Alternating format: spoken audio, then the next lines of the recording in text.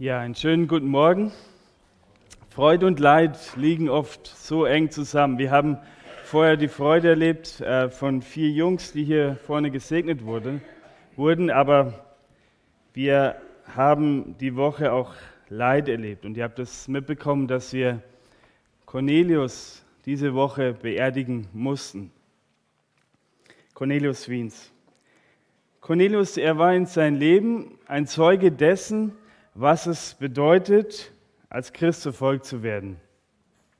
Denn ihm war es sein Anliegen, ähm, das Evangelium Kindern zu bringen in sein Land, dort wo er gewohnt hatte.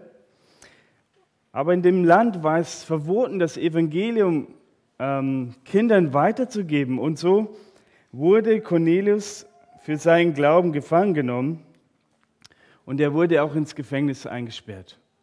Und das, was für uns eigentlich heute in unserem Land total fremd war, das erlebte Cornelius damals. Jedoch müssen wir als Christen wissen, dass eigentlich Leiden und Bedrängnis um unseres Glaubens an Jesus Christus willen eigentlich der Normalzustand im Leben eines Christen ist. Denn neben, Christ, neben Cornelius haben viele Christen in der Kirchengeschichte das erlebt. Und über 260 Millionen Christen heute erleben ganz persönlich Verfolgen, ganz persönlich Bedrängnis, weil sie an den Namen Jesu leiden. Ist das okay? Über 260 Millionen Christen erleben das ganz persönlich. Aber dass wir in unserem Land als Christen schon lange Zeit, sogar Jahrzehnte in Frieden und Wohlstand leben, das ist nochmal Ausnahmesituation und ähm, ja, kein Normalzustand.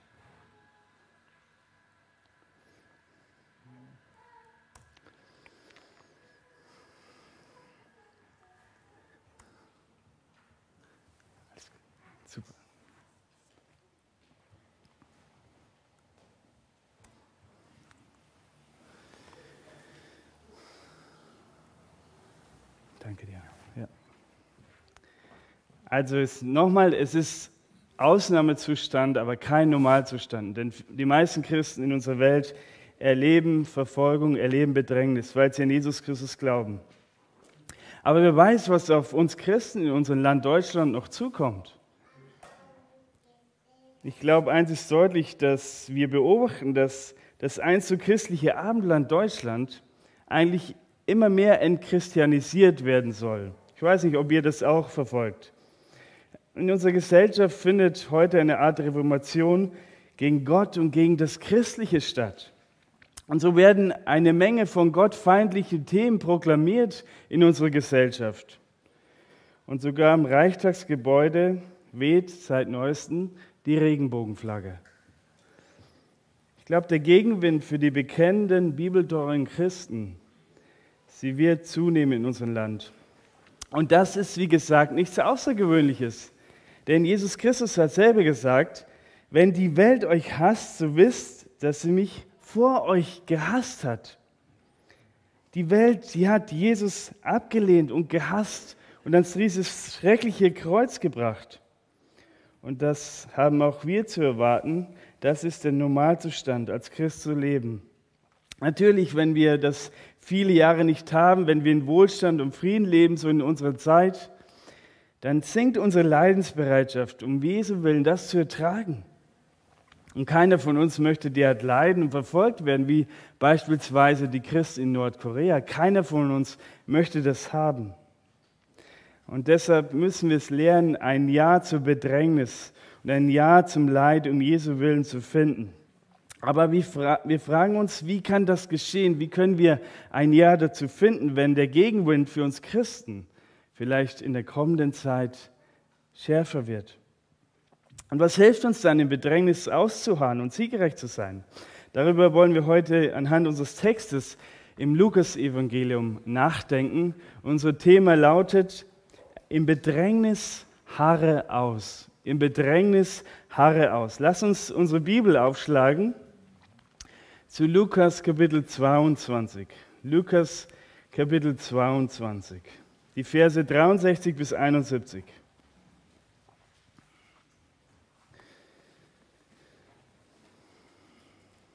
Lukas 22, die Verse 63 bis 71.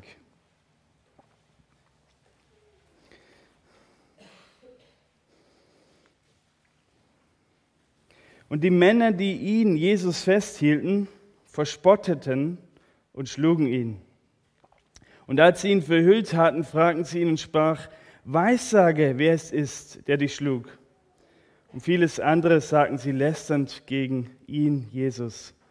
Und als es Tag wurde, versammelte sich die Ältestenschaft des Volkes, Hohepriester sowie Schriftgelehrte und führten ihn hin in ihren Hohen Rat und sagten, wenn du der Christus bist, so sag es uns.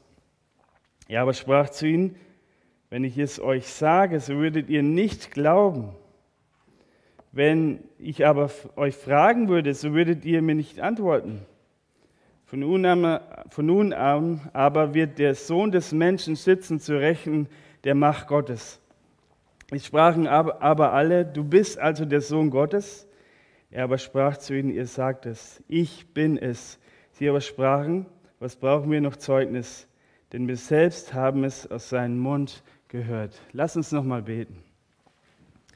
Unser Vater im Himmel, danke für dein Wort. Danke, Jesus, für dein Vorbild, wie du mit Leid, mit Bedrängnis umgegangen bist. Und wir bitten dich um Gnade, Jesus, wenn wir diesen Text anschauen. Gnade für uns, dass wir durch deinen Geist lernen von dir und verändert werden in deinem Bild immer mehr. Amen. In unseren Versen sind wir in der Passionswoche am Gründonnerstag und an Karfreitagmorgen angekommen. Und hier finden wir uns im Anfangsstadium der Leiden und Bedrängnis Jesu im Haus des Hohepriesters vor dem Hohen Rat. Jesus, er wurde ja gefangen genommen, in Gethsemane da oben eingekreist und er wurde in das Haus des Hohen Priesters gebracht, nämlich das von Kaiphas.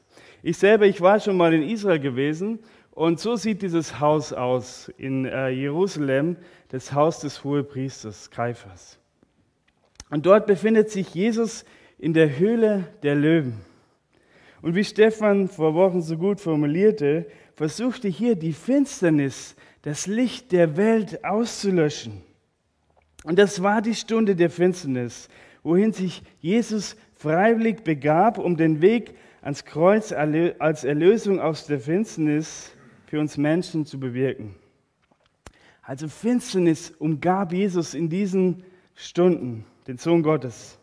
Und wir sehen das an dem, was Menschen ihm zufügten an den Text. Und wir sehen das an den Umgang des Hohen Rates mit Jesus. Arnold Fruchtenbaum hat ein sehr gutes Buch geschrieben, das Leben des Messias. Und er schreibt darin, dass die äh, Führenden Israels, um Jesus schnell beiseite zu schaffen, selber 22 ihre eigenen Gesetze und Regeln brachen, um das ganz schnell abzuwickeln, den Fall Jesus. Wir werden noch später sehen, einige davon, wo sie das gebrochen haben, diese Regeln. Lukas, er berichtet uns einen Bericht, eine andere Reihenfolge, und er ist nicht so detailliert wie Matthäus und Markus beispielsweise. Darum herum passieren noch mehrere Dinge, die Lukas nicht aufschrieb. Jedoch alle berichten das Bekenntnis, dass er der verheißene Messias ist. Und das ist der Urteilsspruch gewesen, der Jesus schlussendlich ans Kreuz brachte. Nun, was können wir daraus lernen? Unser erster Punkt vom Kontext heißt, nutze die Zeit ohne Bedrängnis. Nutze die Zeit ohne Bedrängnis. In unserem Text heute in Lukas 22 sehen wir Jesus der geschlagen, der beleidigt wurde und doch nicht sündigte. Er wurde ungerecht behandelt und doch stand er wie ein König vor dem Hohen Rat und er bekannte sich dazu, König und Messias zu sein. Er versagte nicht in diesen Stunden. Man fragt, sich, was war eigentlich das Geheimnis dass Jesus im Gegensatz zu Petrus, denkt an seine Verleugnung, in dem Moment nicht versagte.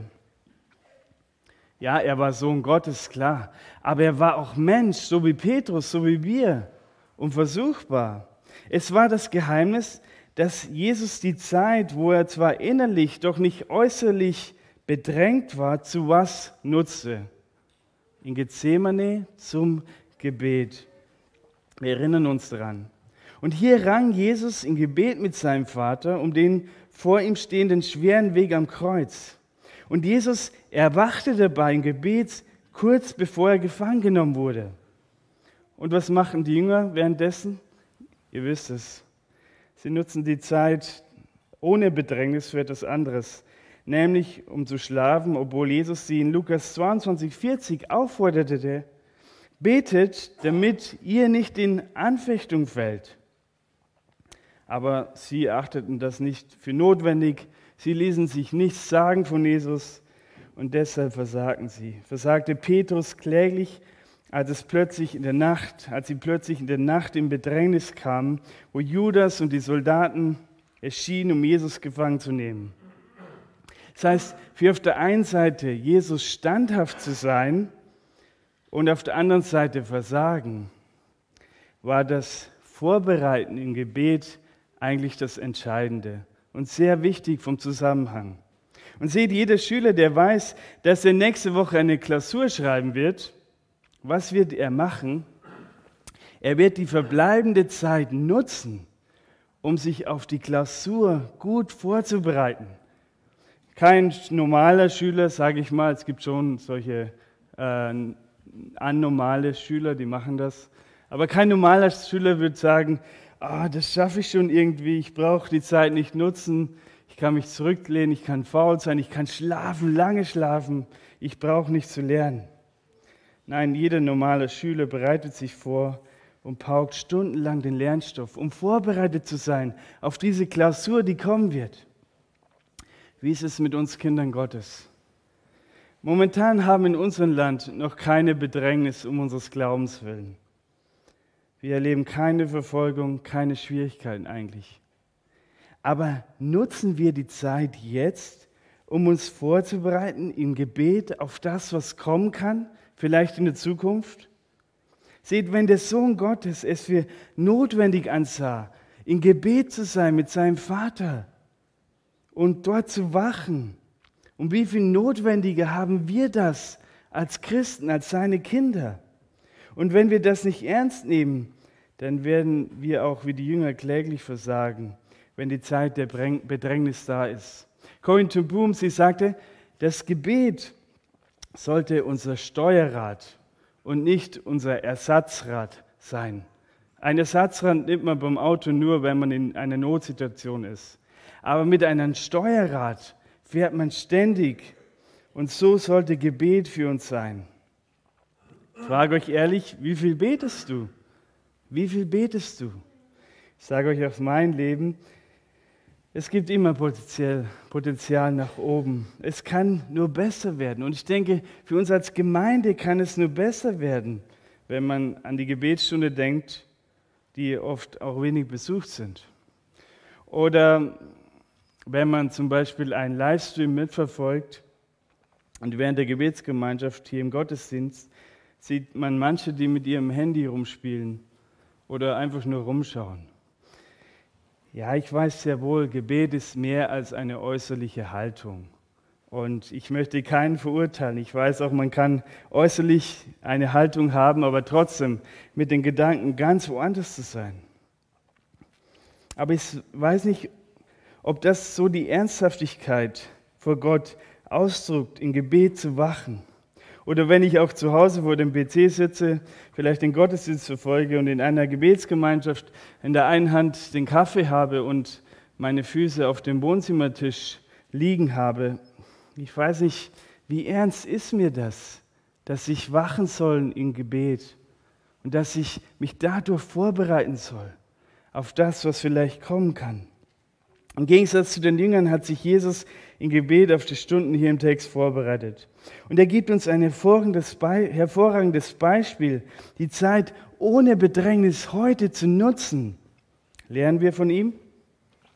Im Angesicht der zukünftigen Bedrängnis sagt Jesus in Lukas 21, 36, so seid alle Zeit wach und betet, dass ihr stark werdet, zu entfliehen diesem allen, was geschehen soll und zu stehen vor dem Menschensohn. Das Starkwerden geschieht durch Gebet, indem wir in Gebet wachen.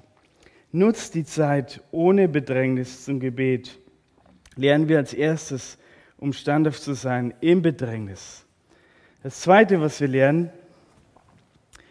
im Bedrängnis befehle dich Gott an. Im Bedrängnis befehle dich Gott an. Lass uns zum Text kommen in Lukas 22 und die Verse 63 bis 65 nochmal lesen. Da heißt es, und die Männer, die ihn festhielten, verspotteten und schlugen ihn. Und als sie ihn verhüllt hatten, fragten sie ihn und sprachen, Weissage, wer ist's, der dich schlug? Und vieles anderes sagten sie lästernd gegen ihn. Gegensatz zu den anderen Evangeliumschreiber berichtet Lukas keine Einzelheiten von dem ersten Verhör Jesus bei Kaiphas in der Nacht, was da geschehen war. Matthäus und Markus gehen da näher drauf ein. Und die hier beschriebene Misshandlung fand offenbar nach dem ersten Verhör statt, bevor der Hohe Rat zu seiner offiziellen Verhandlung an Tagesanbruch zusammenkommen konnte. Diese Nachverhandlung war illegal gewesen und Danach verließ ein großer Teil des Hohen Rates den Saal der Verhörung und Jesus, er blieb in den Händen der Knechte und Gerichtsdiener zurück. Und das war wohl eine Anzahl von Männern, die normalerweise den heiligen Tempel in Jerusalem als eine Art Tempelpolizei bewachten.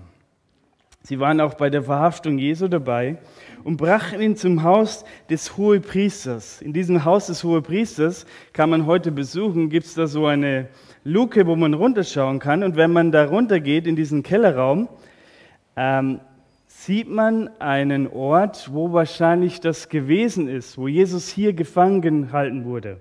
Und ihr seht da oben sind zwei Löcher in der Wand. Und nach der Sage sagt man sich, dort war Jesus angebunden und dort hat er das erlebt, was wir hier in diesem Text leben, lesen. Aber diese Männer hielten ihn dort über die Nacht fest gefangen und misshandelten Jesus dort auf grausame Art und Weise. Wie machen sie das im Text? Sie machen das zum einen verbal mit Worten und sie machen das körperlich. Und schlimmer kann man wirklich nicht misshandelt werden. Nach jüdischem Recht hätten diese Misshandlungen von den Obersten hart bestraft werden müssen. Seht mehrmals unter anderem in Lukas 18, 32, kündigte Jesus den Jüngern an, was er in Jerusalem erleiden muss. Und in der ganzen Leidensgeschichte erwähnt Lukas dreimal, dass Jesus von verschiedenen Menschengruppen verspottet wurde. Und dieses griechische Wort für verspotten beinhaltet auch den Gedanken des Her Herumspielen. Denkt an eine Katze, die eine Maus erbeutet hat und sie spielt dann mit dieser lebendigen Maus bis hin zum Tod. Und genauso spielten diese grausamen Männer mit Jesus.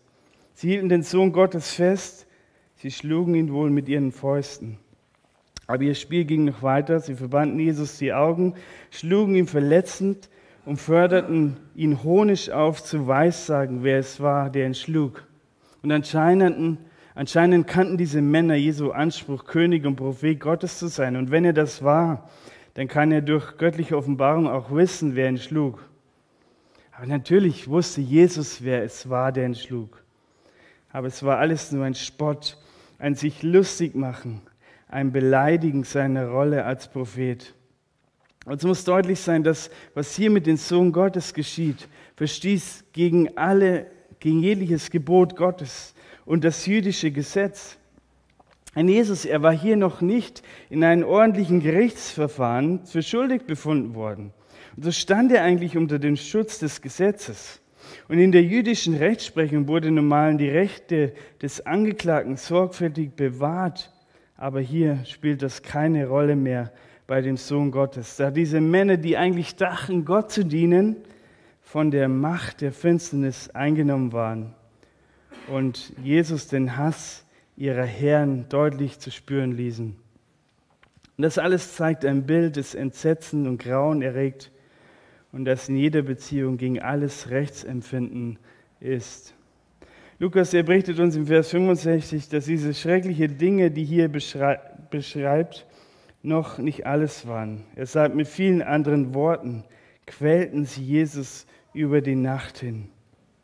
Nun, was fällt uns in diesen Versen auf, dessen Ausmaß für Jesus unermesslich waren? Was beobachten wir? Lukas, er berichtet uns von Aktionen der Männer gegen Jesus, aber was berichtet uns Lukas nicht? Er berichtet uns nicht, ich weiß nicht, ob ihr das gesehen habt, von einer Reaktion Jesu auf diese Ungerechtigkeit. Und das ist außergewöhnlich. Warum?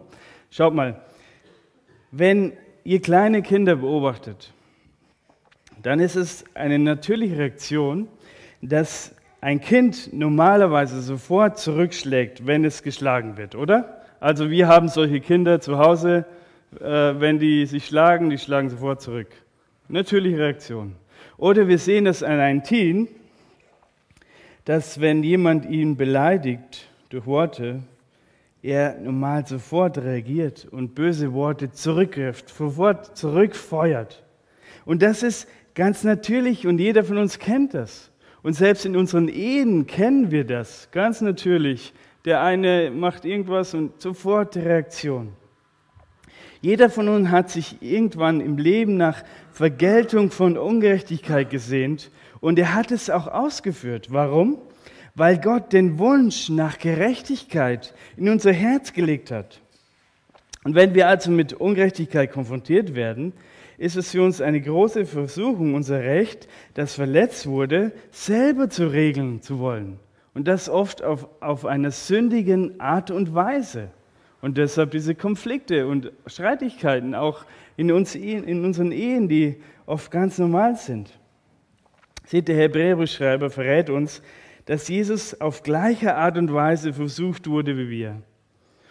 War es hier für Jesus eine Versuchung, zornig zu werden und zurückzuschlagen mit seinen Worten oder mit, mit Fäusten?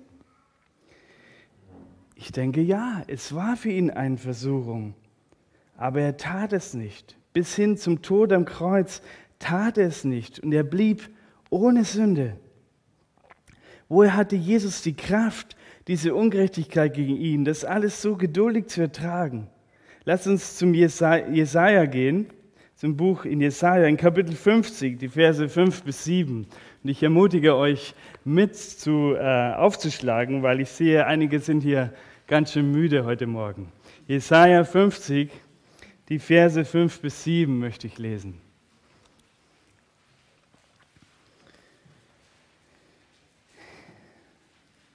Jesaja 50 sagt prophetisch über den Herrn Jesus Christus, was dem Messias ereilen wird.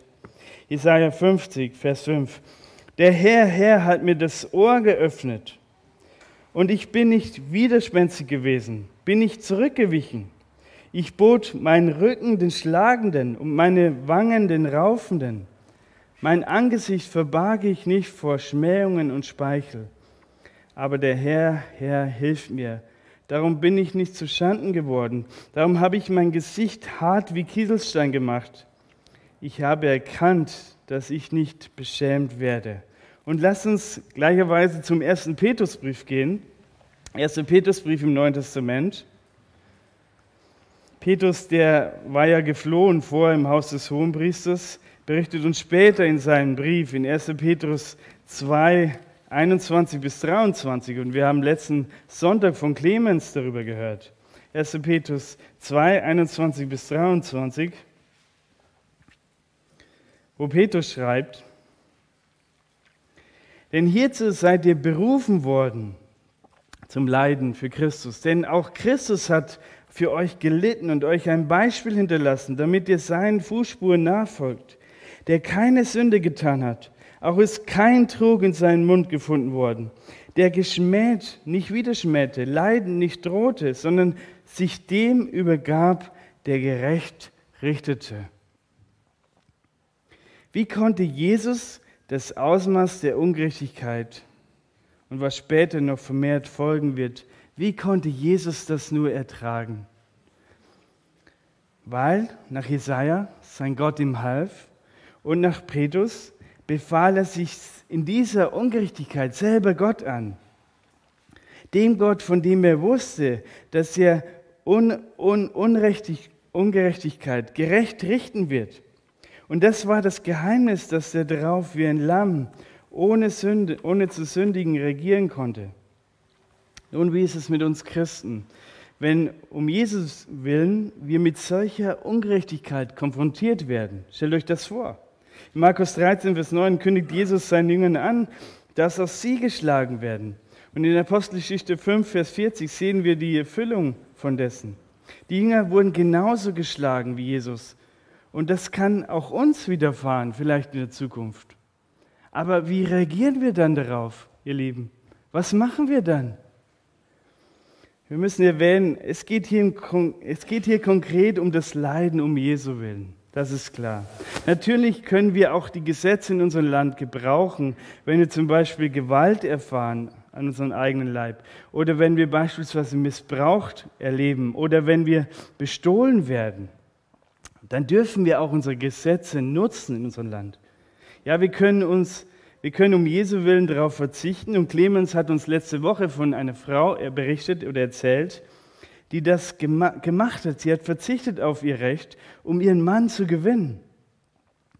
Aber wir dürfen bei Unrecht auch von unserem Recht Gebrauch machen beispielsweise auch die Polizei einschalten. Biblisch begründet kann man das sehen bei Paulus. Er berief sich auf den Kaiser vor, als römischer Staatsbürger, als die Führenden Israels ihn vor dem Statthalter ungerechtbar anklagen. Er benutzt also seine Rechte, ähm, die er hatte, und wir dürfen das natürlich auch. Aber es geht hier um konkretes Leiden um Jesu willen. Und generell, wenn wir Böses erfahren, ob für Jesus oder nicht, ob wir die Polizei einschalten oder nicht, das Böse darf eins nicht. Es darf unser Herzen nicht überwinden. Und das ist immer für uns eine große Herausforderung, wenn wir damit konfrontiert werden, dass unsere Herzen überwunden werden und wir mit Bösen reagieren darauf. Und es bedarf viel Gnade von Gott, damit es in unseren Herzen nicht so weit kommt. Übrigens, was Misshandlungen angeht, ist diese Stelle hier sehr seelsorgerlich. Warum? Denn wenn du vielleicht Misshandlung in deinem Leben erlebt hast, seien es körperlich oder verbal oder sogar beides wie Jesus hier, Jesus, er kann mitfühlen mit dir als dein treuer Hohepriester. Und er versteht dich, welche Ungerechtigkeit, welche Schmerzen, welches Leid dir angetan wurde. Und er leidet mit dir und er weint sogar mit dir.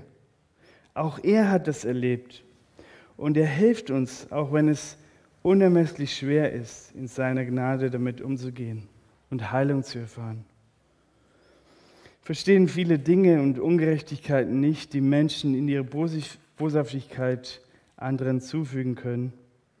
Aber Gott, er sieht es alles. Und wir können uns beständig ihm anbefehlen und dabei Heilung erleben. Und wenn die, die, diese Dinge auf diese Erde nicht zur Sprache kommen, sie werden es spätestens vor dem Richterstuhl Gottes. Und welcher Trost ist das für uns? Und das Wissen kann uns Ruhe geben. Es kann Heilung schenken in solchen Situationen. Und es kann uns auch ermutigen, dass wir zu, zu folgenden, mit folgender Aufforderung reagieren. Schlag mal mit mir zu Römer 12, die Verse 19 bis 21. Römer 12, die Verse 19 bis 21.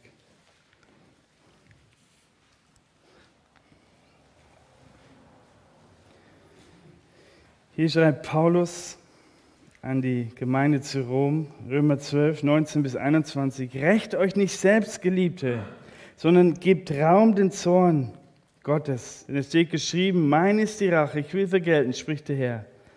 Wenn nun dein Feind hungert, zu Speise ihn. Wenn ihn dürstet, so gib ihm zu trinken. Denn wenn du das tust, wirst du feurige Kohlen auf sein Haupt sammeln. Lass dich nicht vom Bösen überwinden, sondern überwinde das Böse mit Guten. Das Gute stärker, das Böse zu überwinden. Sind wir selber dazu fähig, wenn wir ungerechtig behandelt werden, wie Jesus hier, so zu reagieren, das Böse mit Guten zu überwinden? Nein. Und Jesus weiß, keiner von uns ist so stark wie er in dieser Situation. Er weiß, wie bedürftig wir sind nach Gnade, wenn wir ungerecht behandelt werden. Und Gott sei Dank, dass diese Gnade für alle Kinder Gottes in solchen Situationen reichlich vorhanden ist. Und dass Jesus dieselbe Versuchung erlebte wie wir und deshalb mitleiden kann mit unserer Schwachheit. Also zweitens, im Bedrängnis befehle dich ständig Gott an. Wenn du ungerecht behandelt wirst, befehle dich Gott an und wisse, Gott wird die Dinge zur Sprache bringen eines Tages.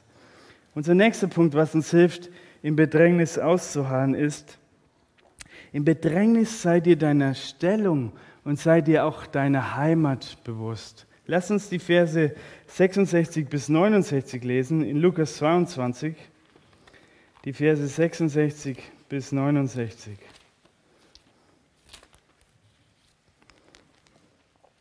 Da heißt es, und als es Tag wurde, versammelten sich die Ältestenschaft des Volkes, der hohe Priester sowie Schriftgelehrte und führten ihn in ihren Hohen Rat und sagten, wenn du der Christus bist, so sag es uns. Er aber sprach zu ihm, wenn ich es euch sage, so würdet ihr nicht glauben.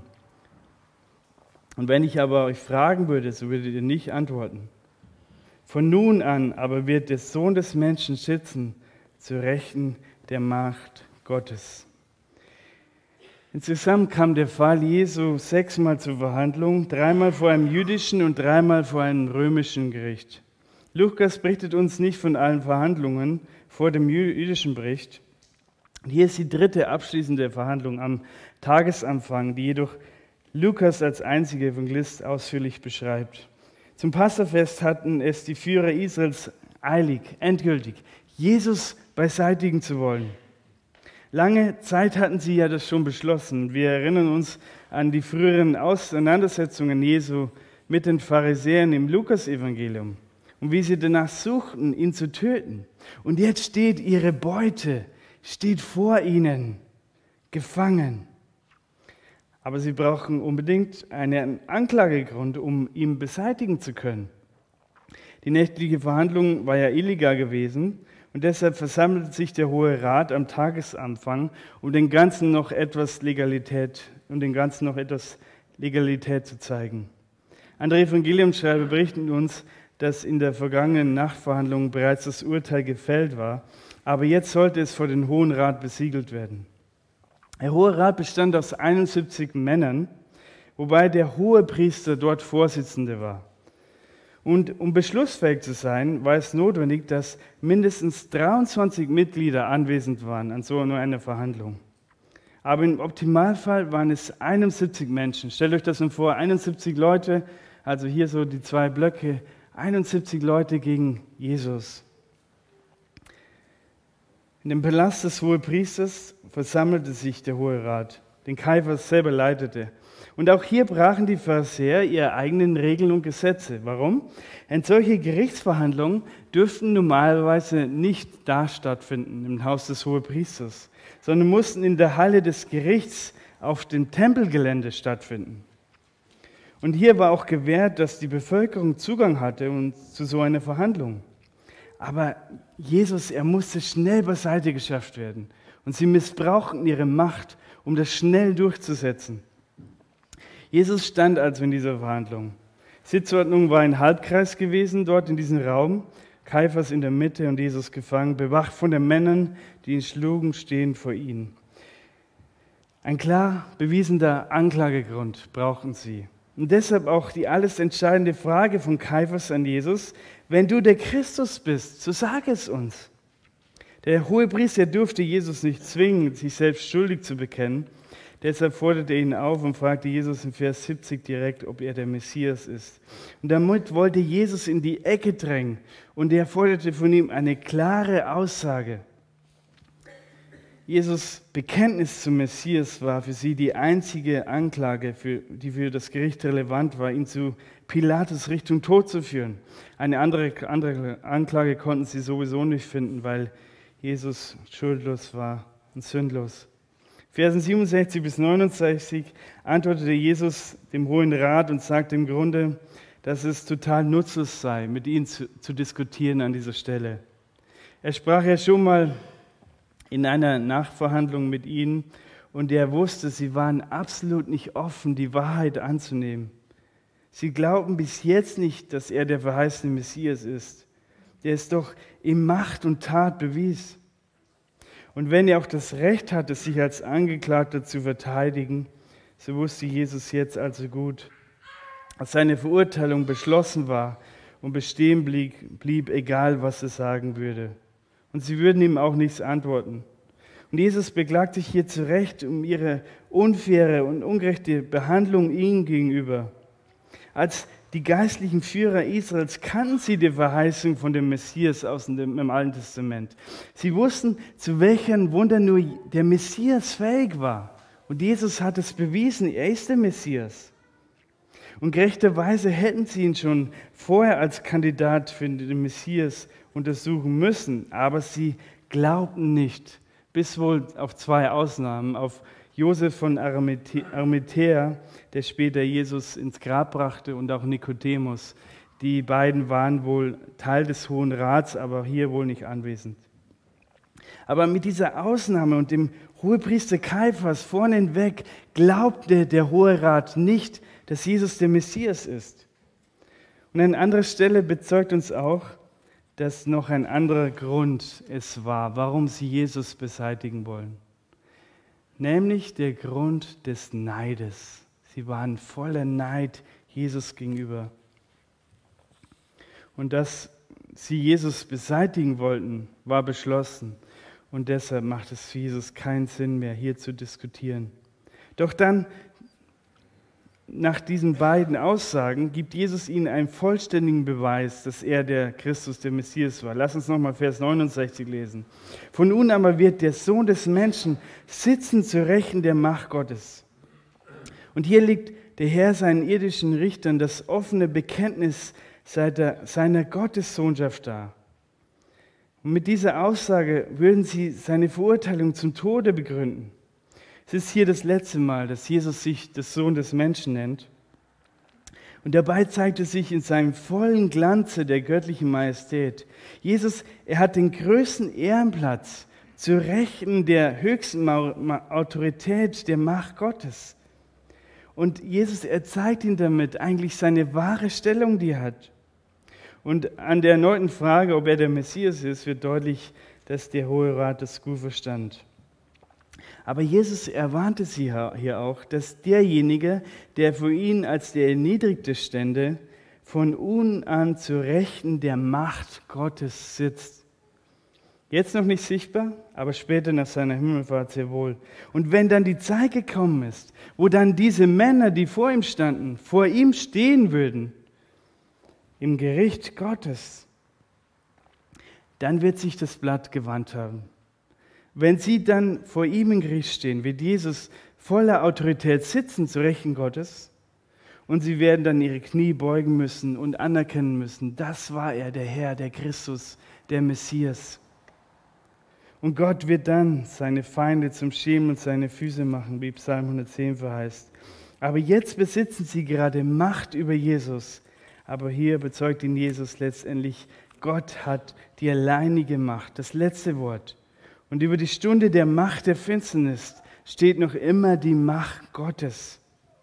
Aber erkennt ihr, wie in der ganzen Bedrängnis und in der ganzen Ungerechtigkeit, die Jesus erlebte, er sich seiner Stellung und Heimat immer bewusst war. Ein schwarzer Prediger erzählte einmal von seinen Vorfahren. Viele von ihnen wurden auf unwürdige Art und Weise als Sklaven nach Amerika gebracht. Die Fahrt im Schiff dauerte Wochen. Es gab keine Toilette an Bord, sodass die Sklaven bald angekettet in ihren eigenen Kot standen. Der Stank, Gestank auf diesem Schiff war unerträglich gewesen. Und als sie dann in Amerika ankamen, waren sie dann zutiefst entwürdigt und gebeugt. Sie wurden dann als Sklaven verkauft, um ihren Herrn zu dienen. Aber auch ein besonderer Schwarzer wurde verkauft. Nach ein paar Wochen kam sein Käufer zurück und fragte den Verkäufer der Sklaven, was ist mit diesem Mann los? Er ist alles anders als alle anderen. Ich schlage ihn und dennoch lässt er sich nicht runterkriegen. Alle anderen Sklaven sind zutiefst gebeugt, er nicht. Was ist mit ihm? Er bekam die Antwort, als, der Sohn ein, als dass er der Sohn eines Königs in Afrika ist. Und er hat nie vergessen, wer er war. Er hat nie vergessen, wer er war. Egal was in dein und mein Leben kommt, vergiss nie, wer du bist in Christus. Welche Würde du von Gott verliehen bekommen hast, wenn du an Christus glaubst als Kind Gottes. Und wenn die Tage kommen, dass wir in unserem Land vermehrt leiden müssen für unseren Herrn, dann können wir mit diesem Wissen erhobenen Hauptes durch die Bedrängnis gehen, wie dieser Königssohn und wie unser Herr Jesus Christus selber. Und vergiss nicht deine wahre Heimat, wo das ist. Nicht Menschen haben über dich das letzte Wort.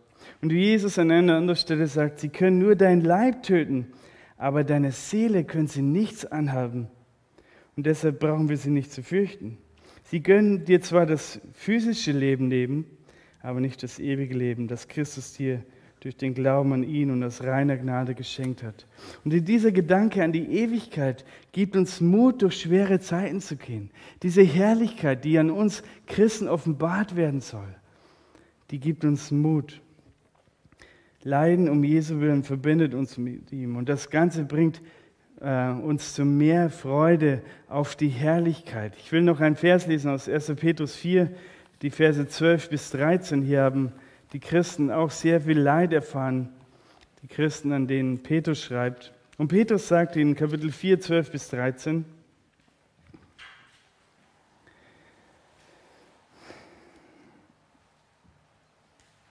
Geliebte, lasst euch durch das Feuer der Verfolgung unter euch, das euch zur Prüfung geschieht, nicht befremden. Es begegnet euch etwas Fremdes, sondern freut euch, insoweit ihr der Leiden des Christus teilhaftig seid damit auch ihr in der Offenbarung seiner Herrlichkeit euch jubelt, freut.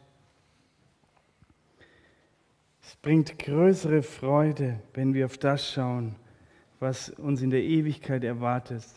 Als in der Bedrängnis seid ihr deiner Stellung und seid ihr deiner Heimat bewusst. Das ist ein weiterer Punkt, äh, was uns hilft, mit Bedrängnis auszuharren. Aber zum vierten werden wir durch das Vorbild Jesu auch noch zu folgenden aufgefordert. Nämlich der vierte Punkt heißt, im Bedrängnis schäme dich nicht für deinen Herrn. Schäme dich nicht für deinen Herrn. Lass uns zu Lukas 22 zurückhören, die Verse 70 bis 71 nochmal lesen. Sie sprachen aber alle, der Hohe Rat, du bist also der Sohn Gottes. Er aber sprach zu ihnen, ihr sagt es, ich bin es. Sie aber sprachen, was brauchen wir noch Zeugnis? denn wir selbst haben es aus seinem Mund gehört. Der Antwort Jesu zeigt die erneute Frage des Hohen Rates, dass sie die Aussage Jesu klar verstanden, dass er der meiste Messias ist. Und Jesus benutzt in Vers 69 bewusst die äh, Anrede Sohn des Menschen, was den Hohen Rat an Daniel 7 erinnert haben musste. Denn nach Daniel 7 wird der Messias sich so nennen. Und Jesus bekannte sich dazu. Damit verstand der Hohe Rat genug, um zu wissen, dass er damit auch behauptete, der Sohn Gottes zu sein. Und deshalb fragten sie ihn folglich alle in einer Stimme, du bist also der Sohn Gottes? Und hier bestätigt ihn Jesus in klarer Weise, ihr sagt es, ich bin es. Und diese Aussage hier ist im Griechischen eine sehr betonende Art zu sagen, ja, ich bin es in der Tat. Und diese Aussage, ich bin es, musste den Hohen Rat wieder an eine andere Stelle im Alten Testament erinnert haben. An welche?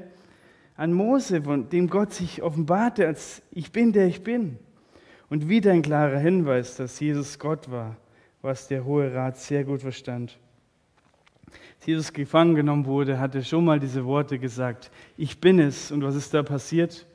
Erinnert euch, alle sind sie umgefallen nach hinten vor seiner Macht. Hier ist das nicht geschehen, aus welchem Grund auch immer. Aber die Gotteslästerung für den Hohen Rat war hier genug gewesen. Es braucht keine Zeugen mehr, keine Beweise, Jesus zu verurteilen. Sie hatten es aus ihrem eigenen Mund gehört. Und jedoch brachen sie wieder auch hier ihre eigenen Regeln. Zu einen, weil niemand allein auf den Grund seiner eigenen Aussage hin verurteilt werden durfte. Es mussten Zeugen da sein, mindestens zwei, drei. Sie mussten das bestätigen. Aber auch das wurde missachtet. Und zum anderen war die Anklage auf Gotteslästerung nur gültig, wenn der Angeklagte den Namen Gottes buchstäblich ausgesprochen hatte. Ohne das Aussprechen des Gottesnamen Jahwe konnten niemand äh, der Gotteslästerung angeklagt werden. Und Jesus hat es nicht eindeutig gemacht in der Verhandlung. Und deshalb durfte die Anklage der Gotteslästerung nicht erhoben werden. Aber auch hier spielt es keine Rolle mehr. Jesus muss weg. Jesus muss weg. Und er war nach ihrer Auffassung des Todes schuldig, auch wenn sie das hier nicht aussprachen. Es bleibt beim Urteilsspruch der ersten Sitzung der Nacht, nach ihrer Ansicht ist Jesus wegen Gotteslästerung des Todes schuldig. Das Vorhaben, das schon lange vorher beschlossen war, wird jetzt sofort umgesetzt. Und auch hier wieder ein Brechen der eigenen Gesetze. Denn im Fall, wo eine Todesstrafe verhängt wurde, mussten zwischen der Verhandlung und den Schuldigsprechen mindestens 24 Stunden liegen. Der Grund dafür war, mehr Zeit einzuraumen, falls noch Informationen kommen würden, die für die Unschuld des Angeklagten sprechen. Und aus demselben Grund durfte die Verkündigung der Todesstrafe wiederum erst drei Tage später geschehen. Aber alles zählte nicht mehr. Jesus musste schnell beiseite geschafft werden. Wie grausam, wie viel Finsternis diese Menschen beherrschte, wie viel sie bereit waren, alles zu brechen, um Jesus beiseite zu schaffen. Dem endet die, die religiöse Verhandlung hier. Es gab nur das Problem, dass sie neben äh, Pilatus später, als Jesus vor das äh, zivile Gericht kam, daran nicht interessiert sein wird, dass Jesus für schuldig befunden wurde der Gotteslästerung. Und deshalb mussten sie auch noch einen anderen Anklagegrund finden. Aber deshalb, das hören wir in den nächsten Predigten. Jedoch, wir sehen hier und lernen von unseren Herren, wie er sich in aller Bedrängnis bekennte zu dem, was er ist. Und das ist genau der Gegensatz zu Petrus, oder? Der der Menschenfurcht erlag und Jesus dreimal verleugnete und sich für ihn schämte. Und seht, Menschenfurcht wird, ans, wird auch uns eine Falle stellen, wenn es an uns ist und uns, es gilt, unseren Herrn zu bezeugen und sich nicht für ihn zu schämen. Jesus war als sündloses Lamm Gottes frei von all dem. Warum? Weil er seinen Gott, seinen Vater kannte. Und er wusste, die Macht Gottes ist größer. Weil er wusste, wer sein Vater ist. Und weil Gott für ihn groß war, waren Menschen für ihn klein in dem Moment. Sodass er bewusst sich bekannte als der Messias mit dem Wissen, dass ihm das das Leben kosten wird. Wie groß ist dein Gott? Wie groß ist mein Gott in deinem Herzen? Ist er für uns klein? Werden Menschen groß sein. Groß. Und du wirst Menschen fürchten, sodass wir unseren Gott verleugnen und wir uns wie Petrus schämen müssen. Aber wenn wir Gott und seine Macht kennen und er groß ist für uns, haben wir Furcht vor ihm und nicht vor Menschen. Und das ist die Lösung für Menschenfurcht der Bedrängnis habe keine Furcht vor Menschen, sondern bekenne dich klar zu Jesus Christus. Kenne deinen Gott, der mit dir geht. Ein Gott, der hat uns nicht einen Geist gegeben der Furcht, sagt Paulus an Timotheus. Und wir sehen das auch an den Jüngern, wo sie total verändert wurden, was Benny uns vorher dargelegt hat, wo Gott ihnen den Geist gegeben hat. Und sie waren voller Bekenntnis, sie waren voller Freimacht, sich zu Jesus zu stellen später. Also bekenne dich im Bedrängnis, schäme dich nicht für deinen Herrn, sondern bekenne dich ganz klar zu ihm.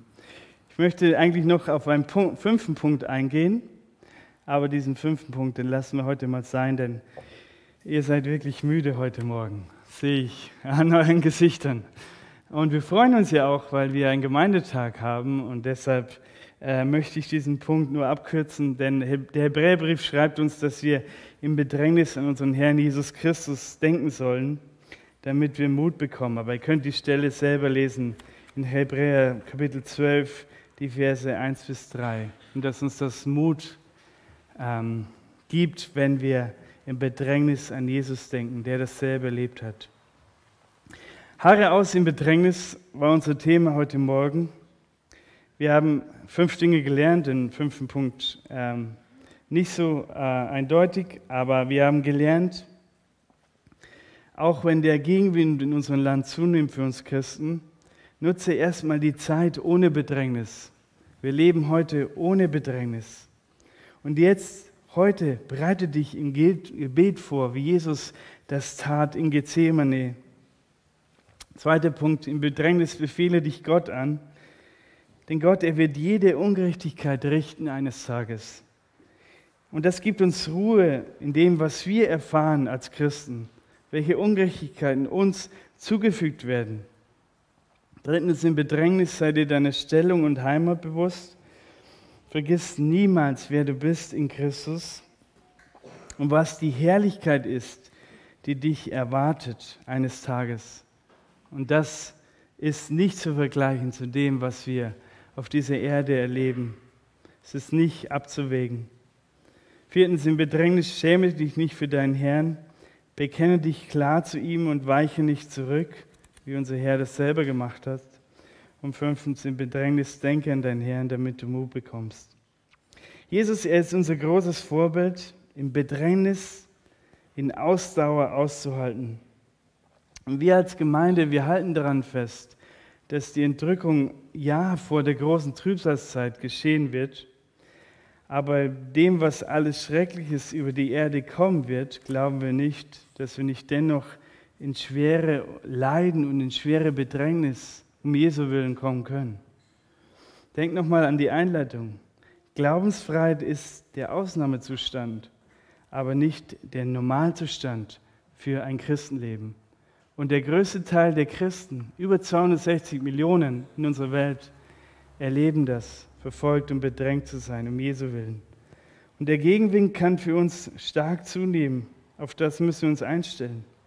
Und wir merken, wie sich die Zeit verändert. Und wir müssen uns darauf einstellen, um Jesu Willen zu leiden, so wie er das selber als Sohn Gottes in dieser Finsternis erlebte. Und deshalb gilt es, ein Ja dazu zu finden auch wenn das keiner von uns möchte. Aber unser Herr will uns mit seinem Umgang im Bedrängnis lehren, dass auch wir darin siegreich und erhobenes Hauptes sein können. Und wie das geschehen kann, haben wir gesehen anhand dieser Punkte. Lass uns aufstehen zum Gebet. Ich möchte abschließen.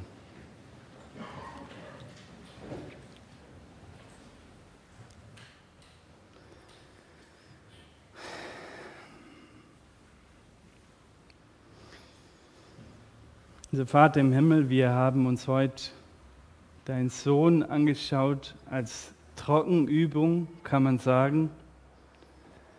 Als Übung, die für uns heute noch nicht wirklich Realität ist. Aber Vater, du siehst die Zeiten, in denen wir leben. Und vielleicht kommen in der Zukunft andere Zeiten auf uns zu als Christen in diesem Land. Und Vater, wir sitzen heute noch hier auf den Stühlen ganz ruhig. Aber wie wird es dann sein, Vater? Werden wir standhaft sein? Herr, hilf uns, dass wir uns heute schon vorbereiten, im Gebet stehen und wachen im Gebet und stark werden, dass uns nichts umhauen kann. Danke, Jesus, für dein großes Vorbild, dass du durch Bedrängnis gegangen bist, ohne zu sündigen, dass du das alles ausgehalten hast um uns zu retten, um uns Erlösung zu bringen, uns Freiheit zu schenken von der Macht der Finsternis, von unserer Schuld und Sünde. Herr, wir schauen auf dich und wir bekennen, wir bekennen uns, dass wir schwach sind, dass wir sündig sind, dass wir nicht so sind, wie du bist und dass wir dich brauchen und deine Gnade. Danke, dass diese Gnade reichlich vorhanden ist für uns und dass wir von dir lernen dürfen. Amen.